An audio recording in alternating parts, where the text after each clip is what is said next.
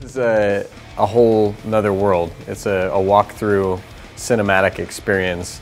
And at the slaughterhouse, the people are the pigs. Uh, we are processing you.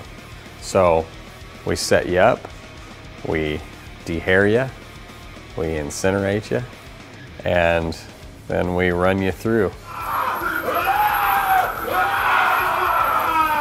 Work wasn't easy, but it was uh, it was easy to get to the work. You know, like it mapped out really really quickly. We hardly had to think about it. Uh, a lot of our scenes they already kind of cater to the the lyrics and the um, the presence and the energy that Slipknot embody.